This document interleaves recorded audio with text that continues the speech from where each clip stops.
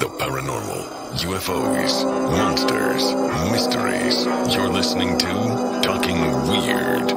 And now, from a cabin deep in the Northwoods, your hosts, Dr. Dean Bertram and Jenn Durrell.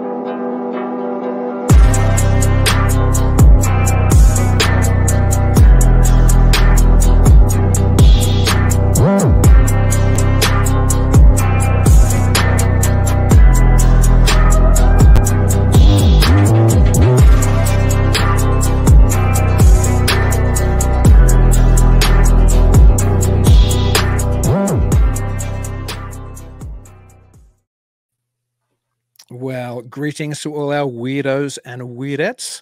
Thank you for joining us for Talking Weird on the Untold Radio Network. I'm one of your hosts, Dean Bertram, and joining me is the always amazing Jenn Durrell. How are you tonight, baby? I'm doing very well. How about you? Good. Fall is here, although we've got some, we've all of a sudden got heat again here in the Northwoods. We've been freezing up here, and today Same we've been here. hit with like a heat wave. hmm It's 83 right now. But that's good news because some of my pumpkins in my pumpkin patch weren't ready, but now this heat's turning them orange, which is fantastic. No, that's so, good. Yeah, I'll have all my pumpkins by Halloween, Oh, which is well, always that's good. I had to get rid of my garden, oh. unfortunately, but Oh well. oh well. Yeah, it's Do that have- season.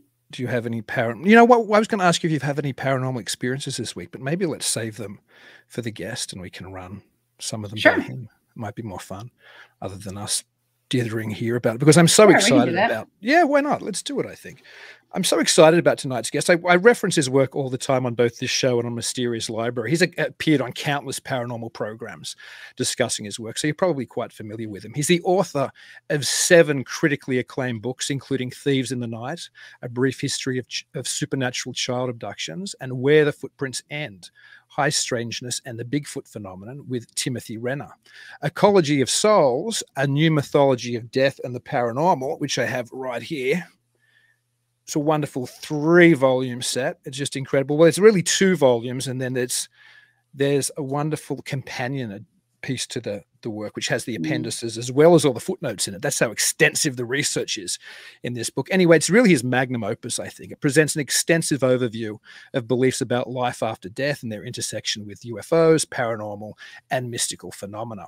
From psychopomps and doppelgangers through through shamanism and psychedelic experiences to fairies, flying saucers, aliens, and beyond. So I'm delighted to welcome back to the show one of the most important thinkers in the broader Fortean field, Joshua Cutchin. Thanks. I, I don't even know what to say to that. I'm, I'm sort of gobsmacked by that introduction. That's, that's too kind of you. And, and coming from folks like y'all, that really means a lot. So Oh, thank well, you. thank you. No, we. I mean, I always reference your work as I was mentioning Mhm. briefly before, before we started the show. You constantly come up, and that's why. Again, apologies for calling you Kuchin for about the last two years. I finally got it right, Cutchin. No, it's it's all good. As as we were saying beforehand, um, my name has been butchered much worse. So no, no need to apologize. It was a great joy to see you at uh, the Strange Realities conference. I wasn't there, but I was watching virtually the thing that the can, the wonderful conference the Conspiranormal guys throw. Yeah, I was Mm. supposed to be a speaker and I bagged on speaking because I had this great gig that was promised to go through. And uh, it was a gig with a corporate band. And uh, corporate bands don't get to be at the level that they are without Yeah. being run by shysters, basically, is the way it goes. So, um, predictably enough, I should have seen it coming. Uh, it all sort of fell through. The deal changed at the last minute. So I was like, "Ah, Adam, can I come back to Strange Realities? and as it, as it as it turned out, because I just wanted to hang with folks and just be there at the meeting of the minds, you know.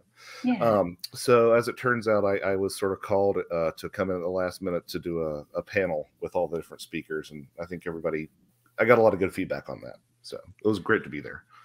No, I think you did a great job when you when you kind of compared that panel at the end. Was there any? I, I think you were there for most of it. Were there were there any speakers or any ideas? Let's not say speakers. Say any ideas you saw floated there, which which really jumped out at you.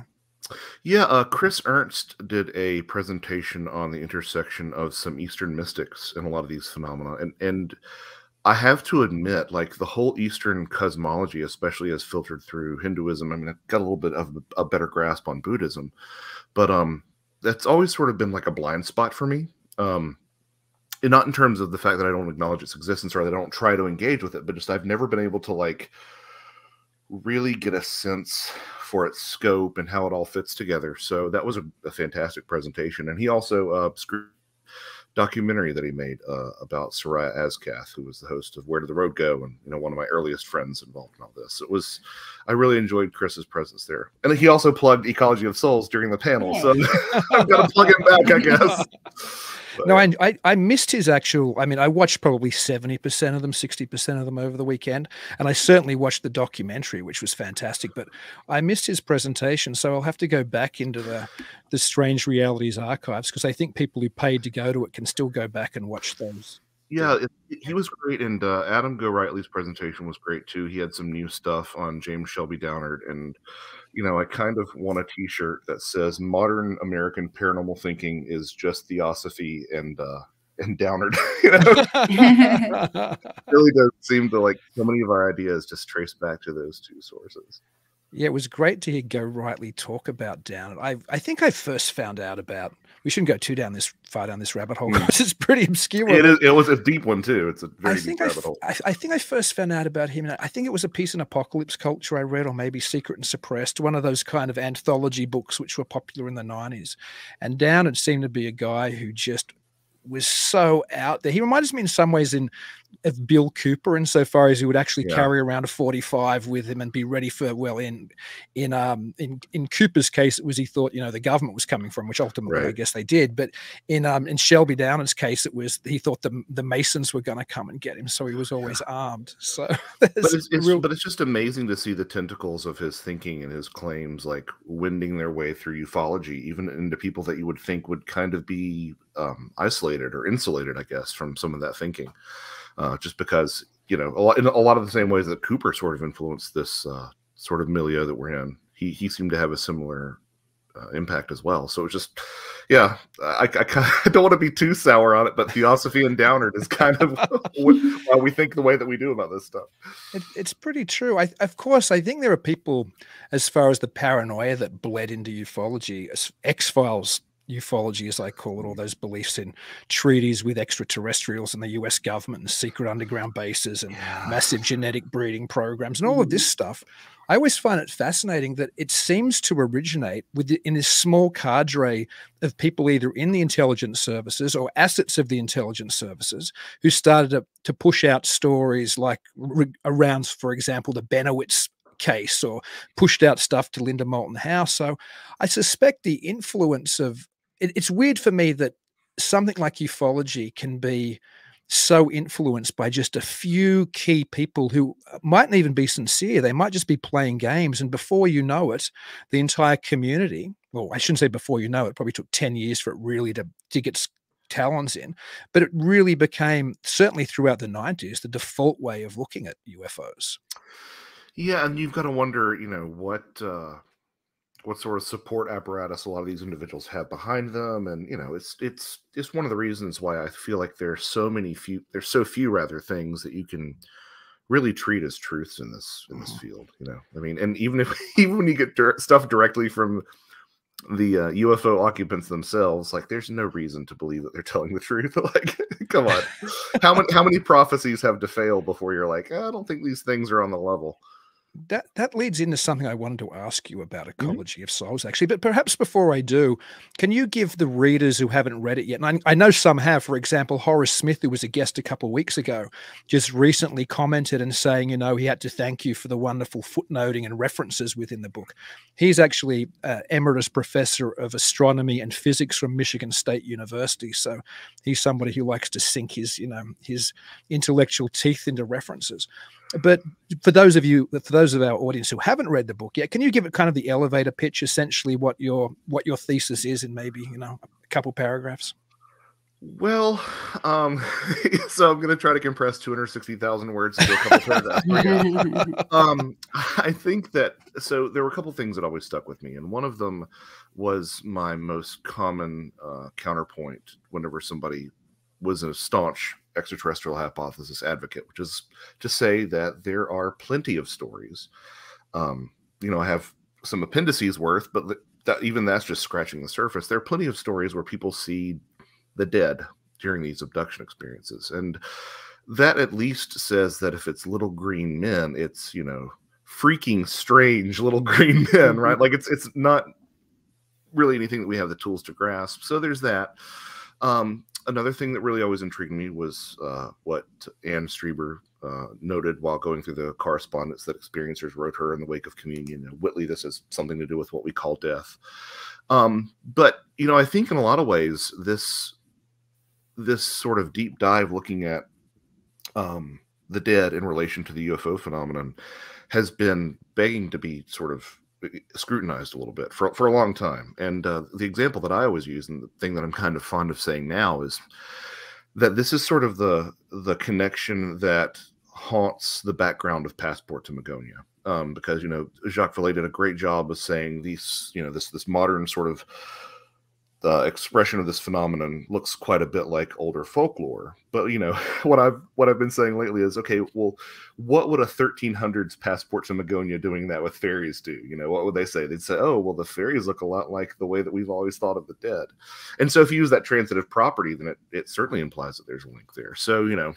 How much is there to this? And I said, okay, well, I'll get in and out with one book, you know. And uh, you know, by the time I started looking into it, it was like, oh, there's an entire basically book's worth of preface that sort of has to go into this because the way that we've thought about the soul um, has changed so much and is really restricted by this sort of, you know, modern Abrahamic thought. Um, and there are ideas that we just don't entertain anymore, like the idea that the soul is like a smaller version of ourselves somehow, or the idea that, uh, that we have multiple souls within us, this old, older idea of polypsychism.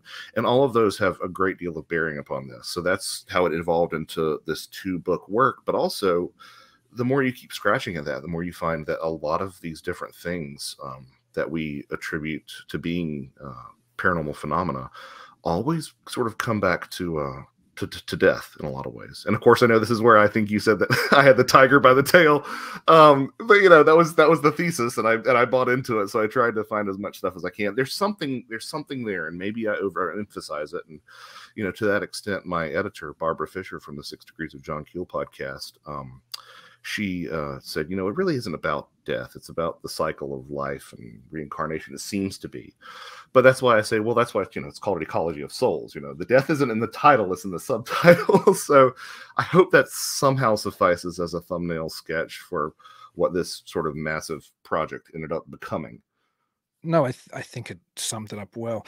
It's such an important work. And uh, we'll talk about some of the theory that I mightn't agree with or might think it implies other things. But the reality is that this is the type of book that ufology and 40 the Fortean world in general need. I think as Greg Bishop said in the the afterward to Mac Tonnies, The Crypto Terrestrials, which was published posthumously after Tonnies died, he said the strength of Tonnies is that is that we need more theoreticians. We need more people actually playing with these ideas. And I, I, think that's so true. The ETH, the extraterrestrial hypothesis, has just hit a wall. It's done nothing in so long. It's This endless cycle of waiting for the government to give us the information. The government's lying to us, but the government's going to give us the truth. It just has been going since Keyhoe penned his first words and before. So people need to go out there and start playing with ideas. And i think this is more than you playing with an idea. This is this is a, a, theory which is backed up by an exhaustive amount of scholarship. I mean the research in this book it, it really reads like a very readable but still it reads like a dissertation. It's so thorough it's so dense with its notes which is important because you're not just throwing this you're not just saying hey i think it has something to do with death and walking away you're exhaustively referencing cultural experiences and folklore and modern experiences and religious traditions and all these myriad of things that connect this very powerful uh, hypothesis. So I can only imagine how long this thing took you to to to research and write.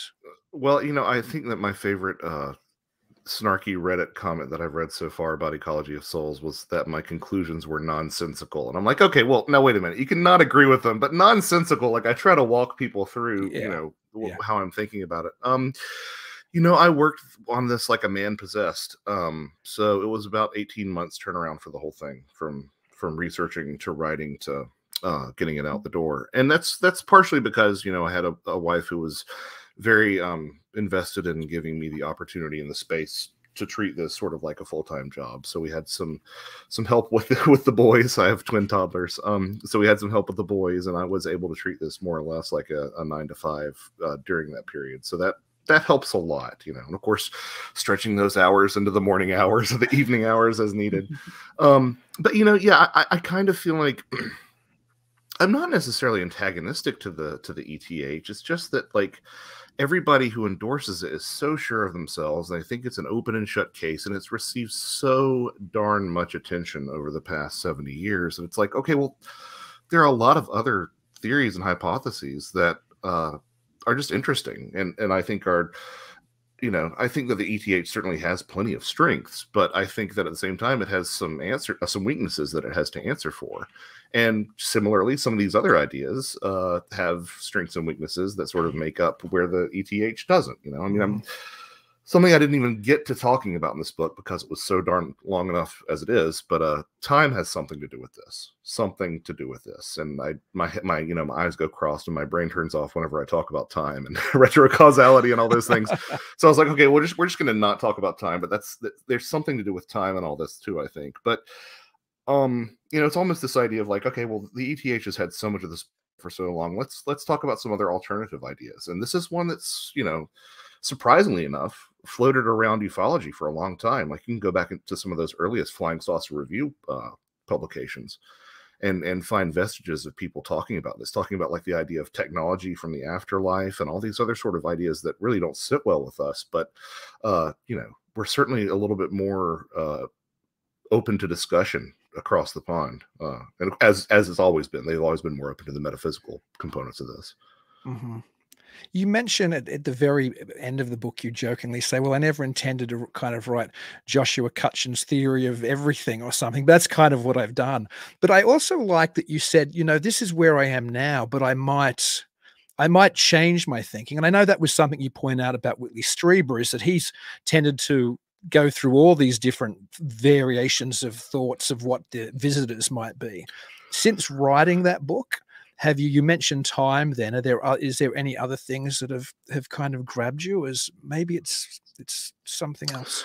No it really the, the, the time thing has been what's been haunting me. And and you know this is something that i make no bones about the fact that you know one of my primary mentors and one of my dear friends is greg bishop. And uh you know that's something that greg very much sort of instilled in me at I, guess, I would say an early age, but I guess early in my ufological career as as it is. Um, that you know you want to always sort of be adapting and changing your ideas. Um, you know, I look at a lot of the folks that I have respected spiritually and politically and uh, just in terms of relationally in my life and they're always people who have always changed and sort of adapted and, and sort of incorporated new data as it comes their way so you know I, I hope that i i some of the ideas in here that i sort of support, I have radically reevaluated. Um, at the same time, what I what I ended up finding myself doing is is sitting back and saying, "Oh, I don't know if this ecology of soul sort of model that I've put forth, um, if it is consistent at all. I, I, don't know if it if it is objectively true, but dang it, it works for me. You know, um, it helps me to integrate a lot of outliers that I've always had problems with, and um, there is." Um, sort of a through line that runs through this too is is I, I, really wrote it a lot for me and if if you're aware of this you might sort of read the book a little bit differently if you go back and read it a second time. A lot of this is me trying to reconcile this with my own faith you know i am a christian and uh, at the same time i'm a christian who thinks that it's a really strange cosmos and reality that we're embedded within and I, i've talked to a lot of these people firsthand um, you know, I mean, a, a, dear friend of mine is Mike Clelland, and Mike's had some truly harrowing experiences. How do I incorporate that without going down some sort of reductionist, oh, it's angels and demons sort sort of route, you know? So really, a lot of this book is me trying to, you know, with with that sense of objectivity. You know, it's in the afterward that I come out and sort of talk about my own feelings. But with that sort of sense of object objectivity, how do I sift and winnow this into something that sort of looks accurate and, you know, at the end, sort of preserves uh, some of the bedrock of my own faith. Yeah, you never would guess reading that book until you get which, to the end that you. Which I love. Which I love. I loved yeah. hearing that. I loved hearing that, and not like you know. I'm sure that there's some Christians who would say, as I address in the afterward, there's some Christians who would say, "Oh, that's a bad thing that your work isn't Christian enough." But no, to me, it's like I'm trying to approach this as clear headed and as objectively as I can because there are plenty of books looking at this stuff through people's own sort of pet metaphysical lenses. And that's not quite what I wanted to do. I wanted to try to be as, in some ways, as dry as I could be about it. You know? I just one of our regular listeners asked a question, and that's Nancy Malcolm said, "Did you feel a sense of urgency in getting the book done to present these ideas?" Hundred percent. Um, I uh, I had just a, a, lot of things going on in my life in 2020, and uh, you know I'm not trying to call anyone out who didn't do this, but I think there are certain people that I know in my inner circle who saw what we all went through in 2020 and said, "Oh, now's the time to sort of get my own house in order."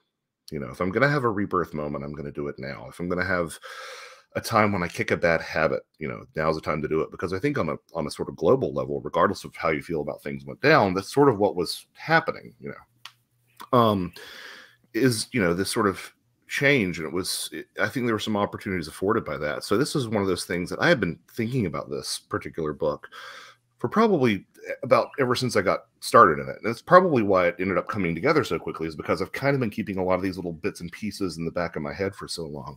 But there was a certain urgency. I mean, you know, you've got that uh very sort of Keelian thing where the phenomenon looks back at you, right? So I'm like, oh, I'm writing a book about death. I wonder what could possibly go wrong.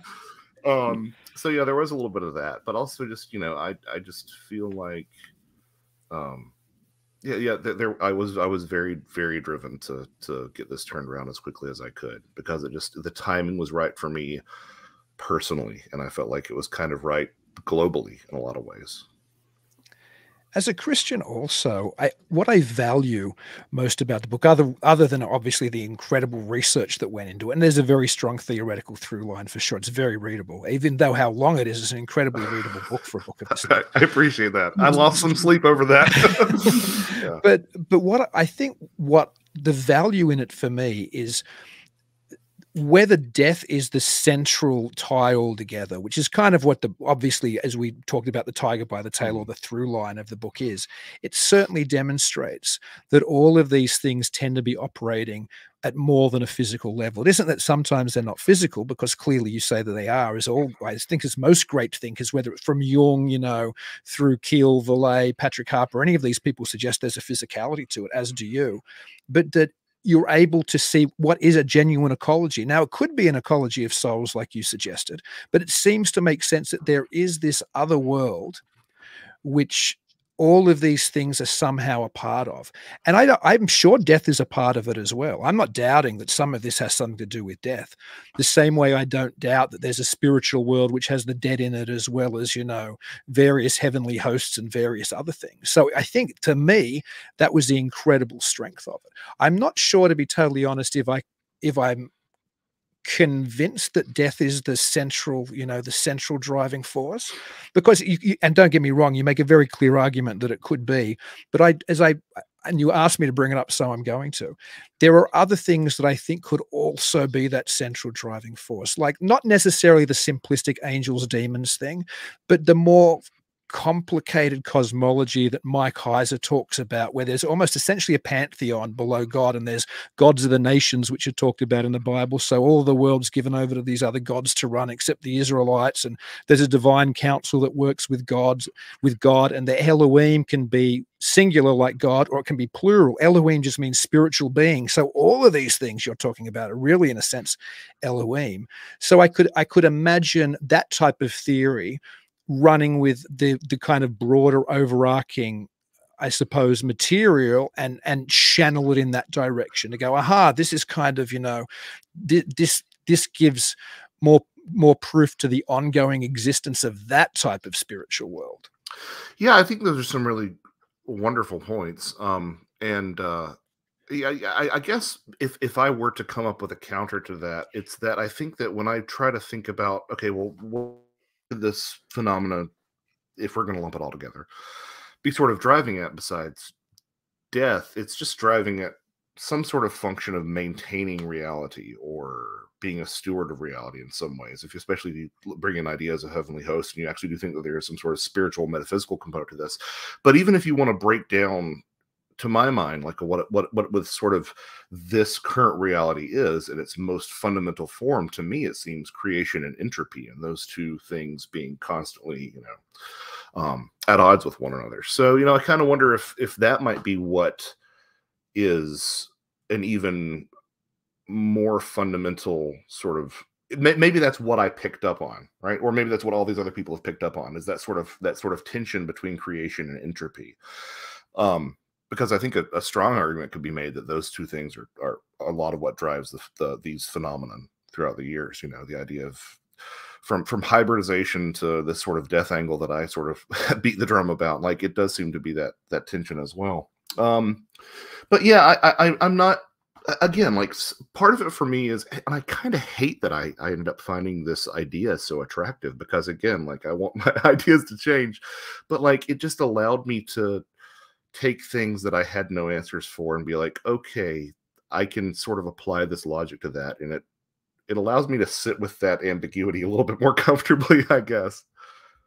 No, and I think that's the great thing about the book. It isn't it isn't that you're it isn't it seems almost that the theory is data based rather than rather than the fact that you just had a wacky theory and then you went and searched things for it yeah, I mean, I, I will say that I think that uh, another um, valid uh, complaint would be that like there's obviously some cherry picking in here. I mean, you know, there, there, are plenty of high strange cases that have nothing to do with death. Right. Um, but you know, at the same point, I would imagine that they have something to do with consciousness, and if consciousness is fundamental, then I think it probably brings those two forces of creation and entropy back into play. I don't know. I'm sort of spitballing here, but yeah. like there are there are valid criticisms to be made that's for sure which is which is why i loved hearing them from y'all. I'm like yeah that's no that's that's totally you know and i think that's i think it's important to honest enough with yourself to see those sort of things you know. The the other I don't want to say problem, but the other thing I was conscious of when I was reading the book is you yourself saying there, I think it's somewhere towards the end of the of the second volume that for the most part you've you've kind of looked at this as fairly positive. Like you've included some negative cases, but you see it as as fairly positive. I, I know something we do share is we tend to think a lot of the stuff which is presented is lies or the things behind it are lying to yes, us. Yes. So that's one of the things I found more difficult to reconcile. If there if there's this kind of deceit, then it's hard for me to accept that as as positive, if that makes sense. Right. I, I guess I guess part of what I was driving at is that, uh, and I think it's a very good point because I mean, we've all heard these stories, these absolutely horrific stories that involve you know, consent being circumvented. And, uh, you know, I mean, it's, it's the main reason why I don't ever take home any souvenirs from paranormal hotspots. Like, you know, I'm fine with a ghost popping up in my home or seeing a UFO, but like, so many of these stories it's not that like you just get bad luck and it means loved ones getting terminal diagnosis and you know financial ruin and uh, you know relationships falling apart and that's the stuff that i can't handle like you know give me ghosts and ufos all day if, but like that's the sort of thing that makes me go maybe i shouldn't take this piece of you know the blown up dome from the tnt area home because i don't sort of bring that that bad that bad mojo with me. Um so there there is a negative component but again i feel like if you if you sort of try to take a really objective, I, I would even hesitate, I would even perhaps say like meta positioned uh, perspective on this stuff, a lot of this negativity tends to focus towards one of two things um, that uh, undermining consent, which obviously is highly problematic. But, you know, as I do say in the book, like there's examples in our own lives where we take children to pediatricians and vets that seem to do the same thing. And we understand because we're in a position to understand that this is for their well-being you know. So there's that that leaves some wiggle room for you know well maybe this stuff is positive even when it's going against the the wills of those who experience it. And then there's the death thing you know it kills people. Well you know if you're looking at things like karma and if you really do believe that there's some sort of afterlife death is not really the worst thing that can happen to you. You know, it's I, I, would argue that like ruining relationships is one of the worst things. You know, um, compromising your integrity is a lot. All those things are probably if if the afterlife does exist, and I obviously suspect it does, those things are probably far more worse than you know dying in a car accident or something. Um, or you know, dying at the hands of a, an angry Bigfoot or whatever you may have. so, like, so I didn't I kind of didn't even want to say that because I knew it was going to engender some some comments like this. Not that I'm saying that you shouldn't, because I think it's it's a very good thing to sort of kick back and forth and debate. Um, it's almost sort of like the ETH thing again, right? You know what I mean? Like we we hear all the time that these are negative and we got to be on high alert and you know, we have so much pop culture um, inundating us with the idea that these things are negative. It's like, well, maybe we should push back against that a little bit because I look at the people that I've always looked up to and you know, if you give me a choice to pick between Bud Hopkins or John Mack, like I know which direction I'm going to go in, you know if you give me uh if you if you give me you know david jacobs or uh, or Leo Sprinkle, like I know which direction I'm going to go in, which which which side I'm going to take if I have to draw those lines. So, and that's obviously both in those cases, those tend to be, you know, at the at the furthest perspective, that ten thousand foot level, those tend to be more positive paradigms that they're working under. Mm-hmm. No, that's a that's a very good point. One thing when I was reading the book, it actually made me think of Jenn, who's a paranormal investigator. Is you talk about and this I, this I found fascinating because it's something I've thought about myself, but haven't taken any time, you know, really to research. It's a little bit out of my my purview usually, but that is that these things seem to be able to contact us through all methods of technology, whatever the technology is. So whether it's you know people automatic writing, or whether it's weird phone calls, or with the advent of radio, voices start coming through the radio. And I know Jenn at the moment is um is using phone apps to do these type of contacts. Did you want to talk ask Josh anything about that? yeah, and I, I, would I would love to hear to hear what more of what Jenn's doing. Um, but bef- well, yeah, you go you go ahead because I have some thoughts. But yeah, no, well, I mean, mine mine's just purely um, just my own investigation, just because I have my own curiosities. Um, also for some more validation. Um, so I I been messing around with some apps, and uh, one of them um, that seems to be um, on it. Like when I ask questions, um, they seem to make sense with the location and and what's surrounding me. So I, I use it quite often. Um, so with with those apps, I've I've kind of come to my own conclusion with those is that I'm not necessarily need to be in a haunted location in order to get any communication. It's almost as if I'm I'm speaking with someone in another realm that happens to have a radio of their own that's trying to speak to me. Um, it's quite interesting. Sometimes I, I do interact with something that is lost and confused and doesn't know where, hmm. where why they're there and they were how did I get here? Did I die? You know, that kind of thing. And then I interact with something that is aware of what I'm doing.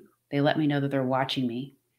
Um, stuff like that, right? yeah, yeah, yeah, yeah. And so I've interacted with tricksters, mm-hmm. and they do like to pop in, and they're like, "Want to play?" And I'm like, "Not your game, you know. As long as I stay strong and just kind of play around with it a little bit, um, they eventually go away because they know I'm I'm not scared of them. Don't show any fear, and they're like, "Oh, never mind. I'll go mess with somebody else."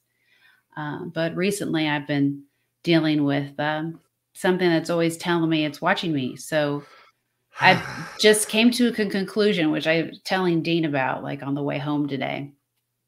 I got a name that said Noah. Well, I've had Noah before. I never thought anything about it.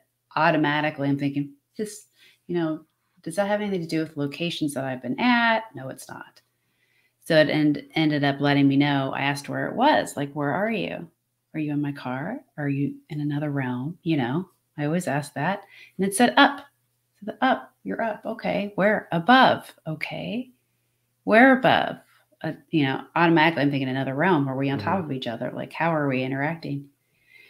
And then it lets me know that um, it's watching me. So then I try to get my brain away from ghosts, spooky stuff. And so I said, Well, could you happen to be a spirit guide? Something on, on that level and it comes back with it says up again. It says protect angel above. And i'm like what?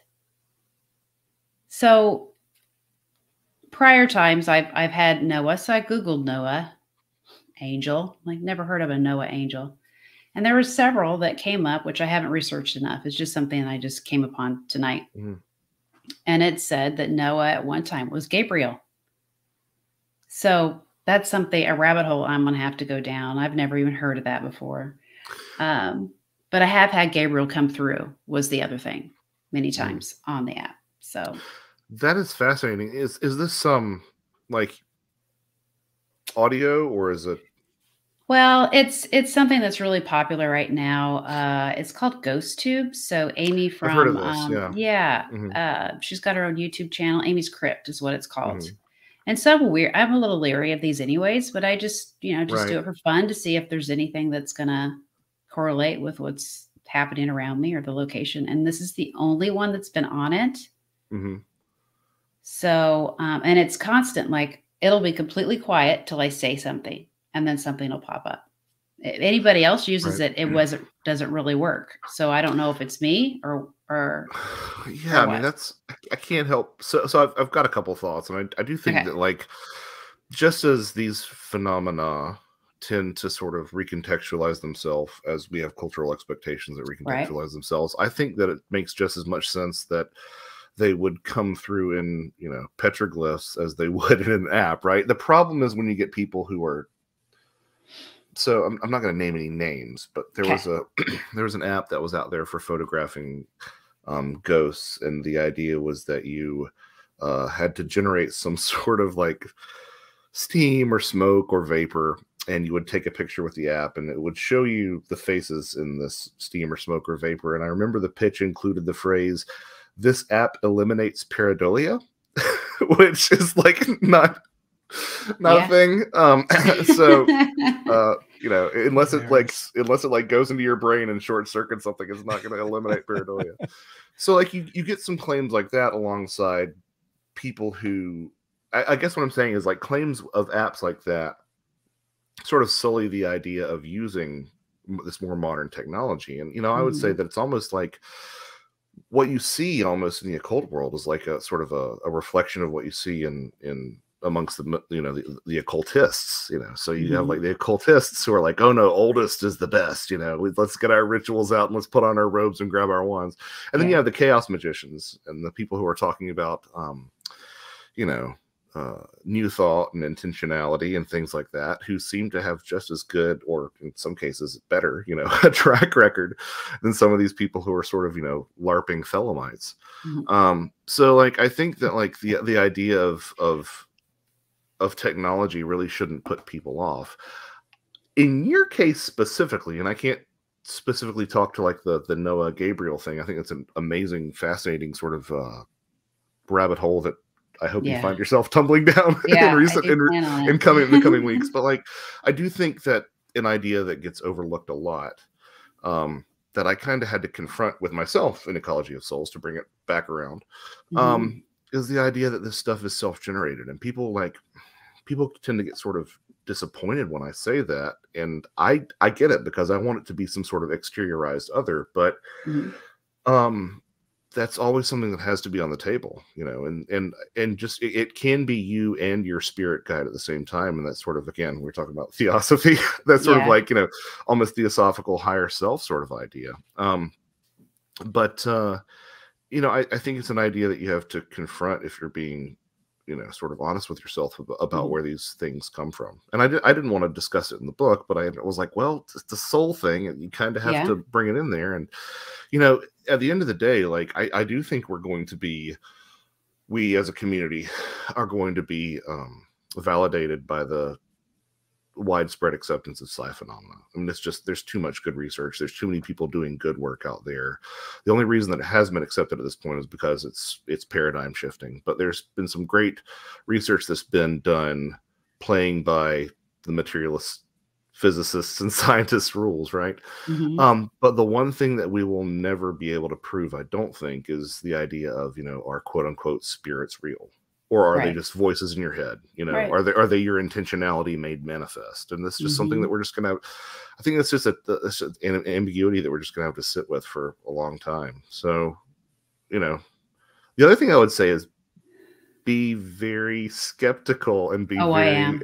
like like even if you are interacting with something like it could say a lot of things. That's, oh that's the, yeah. the old Swedenborgism, right? You know, be, you know, whenever you speak to the spirits, know that they're always lying. You know, they're Yeah. always lying liars. Yeah, hmm but that's Yep. that's that's that's that's fascinating. I can't wait to hear the follow up on that. Yeah. Yeah. I was I was pretty excited to get that. So now I'm gonna have to research that one for sure. I, I used to be super suspicious of a lot of modern technological interactions, I suppose, with the other world, be it particularly apps, but even before that, spirit boxes that are you know picking up words from radio stations and things.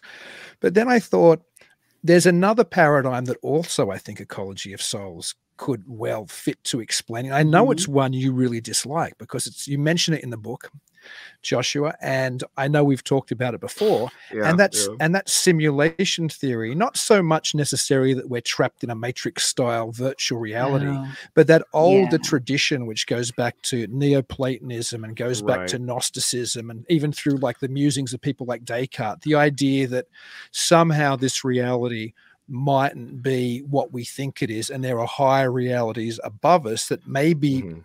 Drop in and interject with us the type of stuff that pk dick was supposedly experiencing Yeah. That's exactly what I was going to say. Is it's like my problem with simulation theory is that people are so literalist and quite frankly materialist about it. And it's just a bunch of kids who saw the Matrix but never read PK Dick, right? Yeah, they never right. read PK Dick, but they saw the Matrix and thought it was like this new original idea. And I'm yeah. like, my problem is when you start saying, "Oh, we're living in a computer program," that anthropomorphizes whatever that next level is, and I think that's just a, that's a basic first order logical fallacy. Um, so yeah, in terms of like simulation theory in that broader sense, I'm I'm quite sympathetic to it. But as far as like, oh, I'm gonna you know die and I'm gonna wake up and be like, that was a great video game, boss. Plug Yeah, me back in. Like, Yeah. you know, this this Yeah. the idea that the idea that whatever reality we're embedded in would be like a macrocosm of what we've created in this reality, I think is just it's, there's a lot of assumptions there. Yeah, there's Mm. there's uh, there's a few passages in the book or a few sections in the book that made me think about that when I was reading it as well. And one is, mm. I forg I forget now who you referenced. I should have written it down, but it was somebody, and I've heard similar things before that the ETs are somehow, you know, soul wardens, are almost like they're keeping us trapped and keeping us in prison on this planet. And that fits with older Gnostic traditions of archons and other entities that don't let us evolve beyond this planet. So I saw some similarities. there yeah, probably well. not. Probably Nigel Kerner or somebody like that. The idea that Greys are soul harvesting, or you know, and and I, again, like uh, for to be as big as this this book, th- th- these these two books are, um, there's so many like different directions that I could have taken it and really dug in. Like you know, I I didn't roll up my sleeves and dive into Gnosticism because I again, hopefully that the idea is that people can take this and say, oh, this is Mhm. you know an interesting idea let's expand on it like i just i Mhm. that's yeah that's that's why I, I guess that's why i become something of an end note fetishist is because like is because I, I can't tell you how many people i've talked to and i didn't think this would ever be the case but i can't tell you how many people i've talked to with my work that have that have come to me and said you know i really enjoyed your book but because you included references i was able to go down in my own rabbit hole and they've just found this entire you know wellspring Mhm. of something else that I hadn't even considered or I didn't have the time to talk about. And that's just that's really, really gratifying to me. For yeah, I think I think it's it's the way academia has always operated. Like you can't just you can't just espouse something in the academy and I a Right. pretend it's yours and not give it a source, which you always do. You go, this is somebody's idea, or or, or just throw out a case, throw out an example, and not say where you got it from, because you could be Yeah. making it up whole cloth, you know. So it's wonderful that your book lets people who are interested either in the the theory you present or traveling off in their own direction that they can It- the, the, the trails are all there for them to jump on board and travel down Well, and you know, the other thing for people who are thinking about writing their own book, like that I cannot emphasize enough, is that it's also kind of uh it's also kind of functions as a form of insurance, right? Like I say something, and if it turns out to be a hoax case years later, I can say, well, you can see when it was written and you can see where I got it from. Like Mhm. it's kind of not my problem, you know what I mean? In a lot That's- of ways. Yeah. yeah, no, let's let's talk about hoaxes as well because it's something i'm Mm. very conscious of when i work in this type of material whether it was when i was doing my dissertation or stuff i'm working on now is when you do case selection like when something really juicy you know what i mean comes across your desk and you're like this perfectly fits this you know this angle that i'm writing on it's it's difficult. It always has been for me to make that decision. Well, I think this is just a hoax, but it fits it so mm-hmm. well. Perhaps uh, I think it might have been somebody like Keel who suggested we needed we need to watch the hoaxes as well because they Mhm. they might be saying something which has genuine truth or resonance, or is you know there's something else going on there. But are, are- you conscious of that when you're like taking out cases? You're like, well, this one sounds a little dodgy to me, but I know. I mean, I'm- it. So I always run into this thing. I've talked with friends in these parts of the world about it. Uh, a good example is I've talked with uh, my friend Miguel Romero about this. I'm like, Miguel, I said, I'm- not trying to be rude. I'm just asking you. Do a lot of these stories from Latin America just seem absolutely nuts to you? And he's like, no, they, they, they do to me as well. You know, someone who lives in Mexico, like it, I, they have a completely different flavor than the American cases. And you could say the same thing about, you know, the cases that come from you know Russia and those former Eastern Bloc states. Like they're just always really elaborate and kind of goofy. And you know, I, I have a little bit of a vetting process. Um, you know, if, if it's an outright hoax, I don't put it in. If it's a hoax that can illustrate something, I'll put it in, but say it's a hoax, but maybe there's some sort of thought form manifestation going on here, or maybe the hoax is somehow illustrative of the way the culture is thinking, or but you know, so many of these cases really don't ever have follow up. I mean, I'm- I would say like you know probably 95 percent of you know quote unquote paranormal cases don't have that follow up. So you look and see at the person's reputation. Like there are plenty of cases, plenty of things that Phil Imbrogno has said that I honestly probably could include, right? Because I think that some of his thinking was interesting, and I'm sure some some of the things that he said happened happened to him. But there's a certain taint there that you can never sort of get away from. So you know, I sort of look into who said it, and if if it's if it's if it falls into that sort of upper echelon of of cases that have received scrutiny, then it gets uh, it either gets mentioned or it gets thrown out or included, depending on how strong it somebody says. But with so many of these cases, there's just they're just sort of one-offs that have been mentioned here and there, and I'm sure they've been repeated and have permutated over time, and details have changed. And at some point, you just say, "Well, this is what it is," and that's that's another form of insurance that I try to do is I try to not find like one case that illustrates a point, right? I, be, I try to be like these three cases all is, illustrate the same point. So in case it comes down the line that one of them is, you know, com- a complete fabrication, then it's like, okay, cool. These other two, you know, that's that was sort of my, my philosophy from a Trojan Feast. I, I thought about this a lot, and I was just like, well, just include a ton of examples of each one, so that you know, if one does end up being revealed as being a fabrication, you're still like, okay, well, the trend still seems to stand because there are so many other examples of this. Mhm.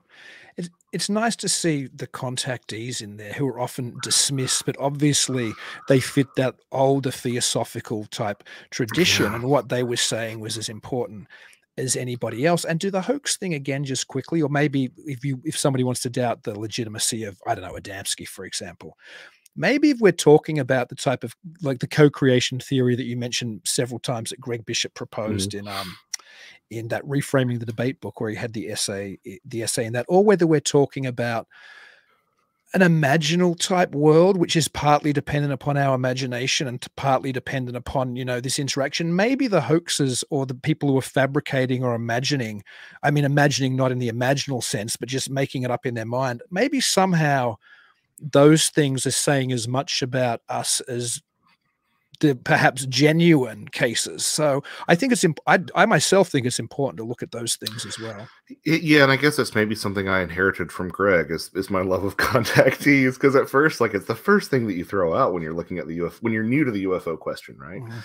Um, but then you start, you know, looking at this from the perspective, which is a very George P. Hansen perspective, that something happens to people and they're sort of they, they share it with people and it was something genuinely anomalous, but then they start getting wrapped up in their own cult of personality and they have to be start you know repeating results and sort of it sort of gets out of their out of their control. And you see this in poltergeist cases a lot. You see it in hauntings a lot. And i would imagine something similar is going on with some of those contactee cases. Um but yeah i think that they're important to include in there because they do illustrate and this is my academic ease coming out but they do illustrate that as i like to call it prisca ufologia right so the idea of prisca prisca theologia is the idea of the first or like you know Huh. mankind's humankind's first religion that we had Prisca ufologia, the, the the way that we first interacted with the UFO phenomenon was was a spiritual discipline, and it sort of gotten got taken out of that by people who were, I would argue, at this point, kind of technological fetishists themselves. Nice. Um, so yeah, so there's a little bit of that, and you know, I think you have to sort of situate the contactees in there and take them with a grain of salt. Um, which is why I always like to use those words claimed or seems to. like, I'll use those as much as you can. Um, but I think they do have a lot to teach us about those sort of early days. And again, like how much of I'm sure this would go over like a lead balloon at a UFO conference, but like so much of ufology is also tied into theosophy. And mm-hmm. when you when you say that it's just little green men and space machines, you ignore the fact that you have so much baggage that you're bringing into that equation that's really from a spiritual discipline, quite frankly. Yeah. I mean, the, the influence of people like Adamski early on, despite maybe yeah. Keyhoe and everybody ignoring them, those early polls which were done, there was a poll, I can't remember when it was, uh, like it was probably mid 50s, and it it polled UFO readers, right, or people who believed in UFOs, and they they, they encountered the influence. They encountered or they described the books of Keyhoe as much as they did the books of Adamski. Like the UFO community grew up definitely under that influence mm-hmm. of those theosophical ideas of the contactees as well. And you see that it, you see that in much abduction lore. It's just painted slightly differently, as you point out in that book. I mean, it's it's very clear that there's an ongoing kind of mantra traveling through what these things are telling us, whether it's Nordic folks talking to a Adamski or whether it's a little gray man grabbing somebody from their bed. Well, e- even in the rejection of the space brother narrative, the sort of gray alien abductions that you see in the 70s through the 80s and 90s it's almost like a one for one refutation of these things i mean you know the contactees were voluntary pleasant um and uh all the foods tasted good and all the smells smelled good and the abduction experience is uh, involuntary and unpleasant. Everything's under duress. All the smells are bad. All the tastes are bad. You know you're getting in, you're not getting being served food. You're getting an injection. It's almost like a complete reflection of it. And because it's a complete reflection of that then yes it is as much ingrained in or I'd even say a reaction to the contactees. Mm-hmm. It's as much ingrained in contactee lore as as the contactee stuff itself, because it almost yeah. seems to be like a a reaction that we produced and that's when you start saying how much of this are we playing into this? You know it's just yeah. question upon question. Where do, where do you see ufology going in the next 10 years? You know it's kind of funny. I uh i had even in the time since i got into this which is relatively recent honestly um i saw a distinct change into more and more embracing of altered states of consciousness and embracing some of these alternative ideas. I, I, I saw that before my eyes, sort of not rejecting the ETH, which I don't think we should ever reject, but like embracing other ideas about what these things could be.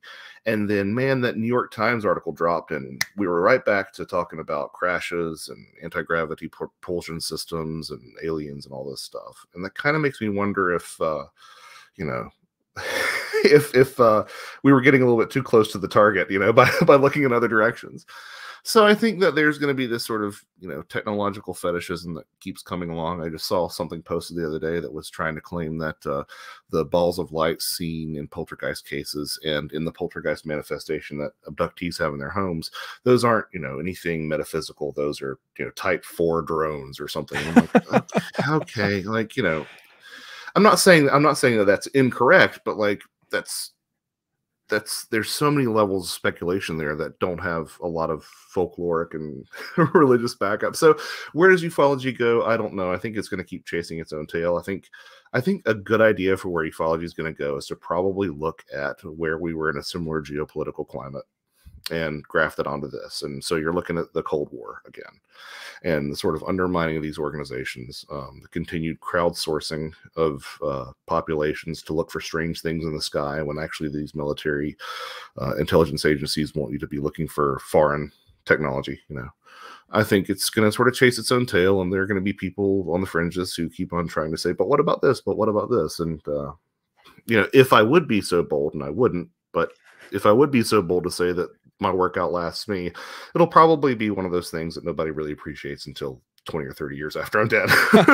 it's probably the way to or or when I'm too old and infirm to care about all the love and accolades that I get. um, so yeah, I, I just think that you know, old old old habits die hard, and I think that it's not going to be as strong in that sort of ETH camp as it was. I think there's a lot more room for a lot of interesting ideas. But I think that uh, you know, it takes a long time to turn around an aircraft carrier, doesn't it? Yeah.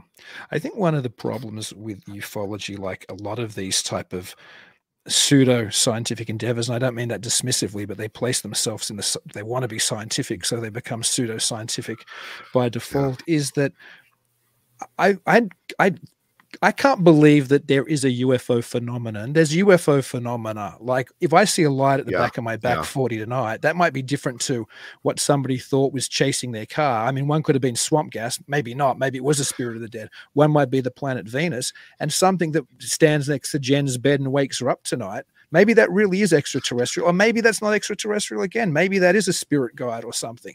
So my point is, all there might be so many different things, but the ETH people seem to want to lump all this together. Like Tic Tac, yeah. to be honest, Tic Tac's probably just government technology. I, I, I quite sincerely believe that. But let's say even if it isn't, they want that to be extraterrestrial. They want the weird light to be extraterrestrial. They want the thing next to the bed to be extraterrestrial. Everything, as you were talking about the drones before, yeah. instead of yeah, I mean, guys, lights. Everything has to fit that paradigm, or it's just you know, it's not that it's ignored. Well, it's just all bought into the paradigm. Maybe so, Bigfoot's so, I mean, ignored.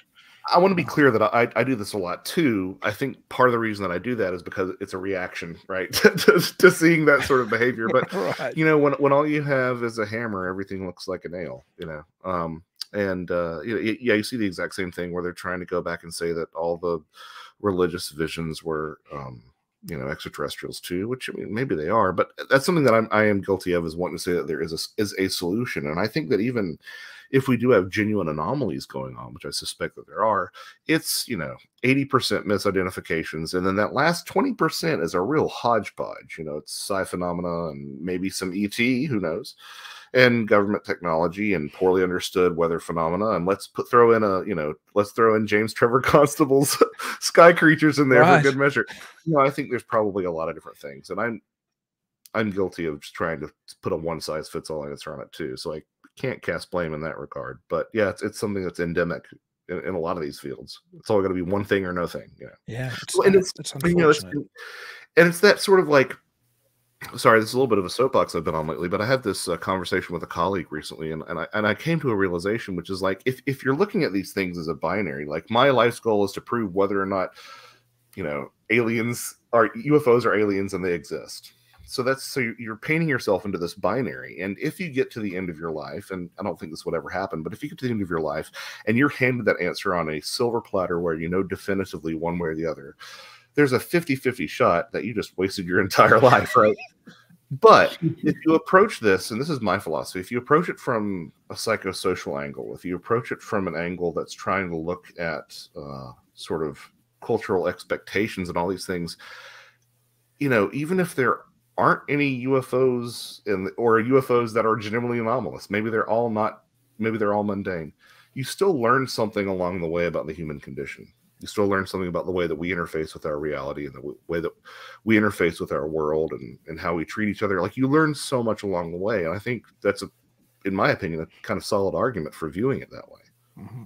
I mean, ultimately, if there's nothing else to it, there's that. It tells us something about ourselves, and we can't 100%. ask much more than yeah. that for sure. 100%. Jenn, did you have any other questions for Joshua? Because I've dominated or stolen this conversation for the most part.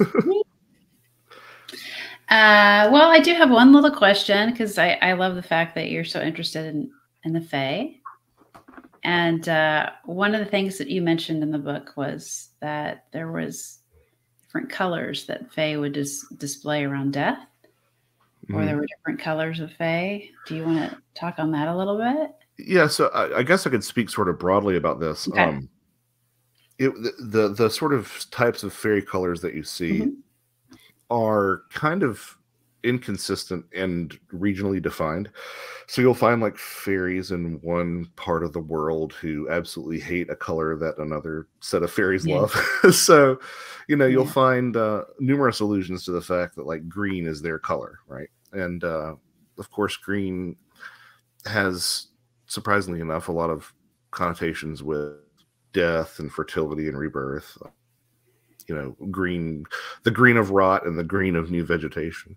Um, yeah, kind of gets because some of the uh, older Celtic words sort of mix uh, green and I believe gray and blue are all kind of one similar word. So it's exactly how we parse all that out. But you'll find numerous, you know, references to not wearing green when you go out if you don't want to have the fairies be upset with you. I believe, if Yeah. memory serves, there was even a, a post office fire in Nova Scotia one year uh, that was blamed on the post office issuing green stamps, and they they irritated the fairies. Oh so wow.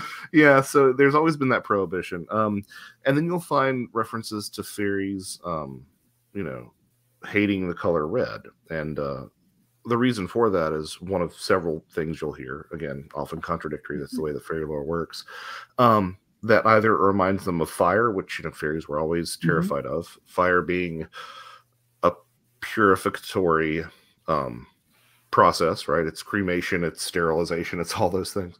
Um, but also uh, the red reminding of the, them of the fact that they are indeed bloodless, and you got to say, okay, well, is that some sort of you know cultural encoding of of lividity? You know what happens after death, or even you know after after you've decomposed.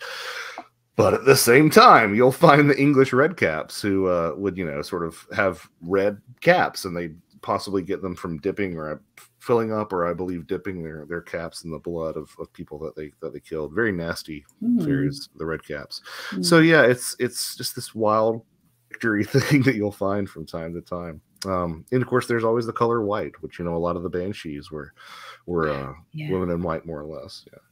Yeah, Yeah. Huh. I just found that So, yeah. portion fascinating. yeah, it's it's it's so frustrating to write about the fairy stuff because it's it it's it's miraculous in the way that it's super consistent from you know old world to new world even sometimes but Yeah. even within the region you'll find like conflicting stories like oh always wear a red thread or never wear a red thread and it's like what am i supposed to do you know right. yeah, yeah. and then sometimes it's like super consistent and super specific and you're like what is going on here Yeah. Yeah. It's Yeah, fascinating to find out how they came up with all those the theories and stories and you know. Yeah, and you know, I mean, there's there's a book that's called I think it's called British Fairy Origins by Lewis Spence, and it, it almost is kind of that 1300s passport to Magonia that I was mentioning, where it's saying like, Yeah. look at how much the fairies resemble the dead. Um, and, you know, it's true. Like pre again pre theosophy, a lot of times we would have thought of fairies and the dead, um, if not being one and the same, being intimately connected. Yeah. Yeah, I want I, yeah. We should have you on just to talk about fairies all night one time. Yeah. It's one of my favorite. I, I'd, favorite lo- topics I, as I'd love to. You know, I'm I'm I'm here anytime you call. You send up the the uh, the Kutch signal, and I'll Yeah. I'll respond. Oh, I will. Well, again, I've, I've seen a number of people say they've either bought your books or they're going Oh, to buy them, and I can't yeah. recommend enough. Get the companion as well. If you love footnotes like I do, you're going to want to have Mhm. the Although I- companion. Do have to say, I do have to say, the the companion is for is for uh, print aficionados, especially print aficionados like myself, because I was trying to save on space because the books are so long, and you, it's and the companion, as you can see, is like a 300 pages long in and of itself. But I also feel like if you buy books one and two, you shouldn't have to pay to get the references, right? Like you should get references. So the entire um, content of the companion is also available on my website. There's a URL in volumes one and two that you can just visit that and download the PDF yourself. So you're not forced to buy the companion. You can buy the companion if you just want to see it on your shelf, like I do. So that's the logic behind that. Although I will say, um, about a, from what I can tell, about a third of every uh, set that's been sold has included the companion. So Oh, excellent. apparently there are people out there who still love physical media, and that warms my heart greatly. Yeah. Yeah, I had to get it as well. Needless to say. Yeah. But can you can you tell people how they can catch up whatever you're you're getting up to, your appearances, everything else, and where they can get your books? Absolutely. Um, you can go to uh, joshuacutchin.com, uh, J O S H U A, sorry, J O S H U A C U T C H I N dot com.